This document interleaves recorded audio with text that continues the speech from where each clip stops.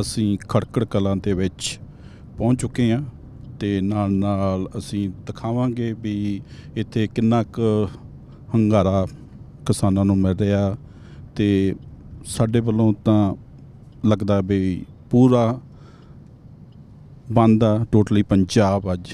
ਪੰਜਾਬ ਦੇ ਨਾਲ ਦੇ ਨਾਲ ਇੰਡੀਆ ਵੀ ਮੇਰਾ ਖਿਆਲ ਬੰਦ ਆ, ਹਰਿਆਣਾ, ਉੱਤਰ ਪ੍ਰਦੇਸ਼ ਯੂਪੀ ਸਾਰੇ ਬੰਦ ਆ।